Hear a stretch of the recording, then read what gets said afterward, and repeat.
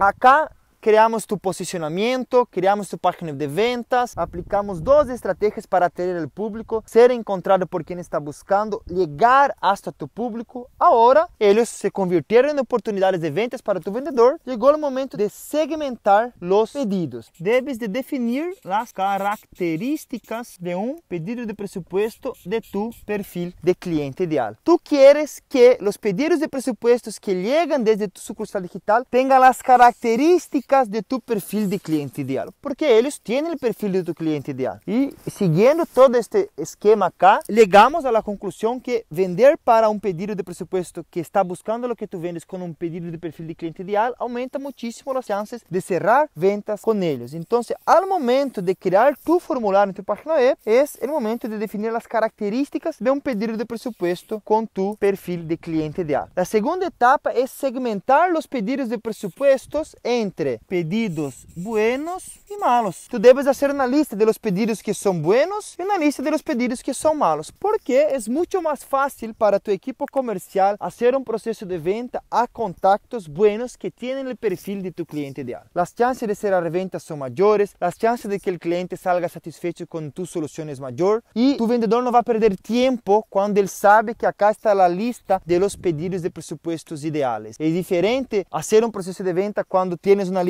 mezclada ou só uma lista de malos pedidos, porque se os pedidos não têm o perfil de cliente ideal, há poucas chances de que ele compre de tua empresa. E a importância de separar é isto, para saber que tua estratégia está funcionando, pois te estão chegando pedidos buenos, e também para optimizar o tempo de tua equipe comercial, porque eles vão dedicar muito mais tempo nos pedidos buenos e com isso aumentando as chances de ventas, e com os pedidos malos, o processo de venda será distinto e não tão orientado a buscar vender para esse perfil de cliente, ok?